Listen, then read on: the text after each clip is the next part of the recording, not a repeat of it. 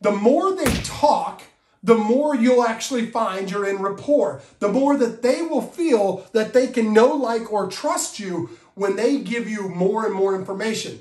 The key to that, however, is talking about what they're interested in, not what you're interested in. So, for example, talking about their work. Everybody loves to talk about themselves. So if you talk about what kind of work they do, how long have they been there, maybe their kids, their kids' activities, their husband, their wife, their boyfriend, their girlfriend, the relationships that they have, when you do that, you'll get so much further.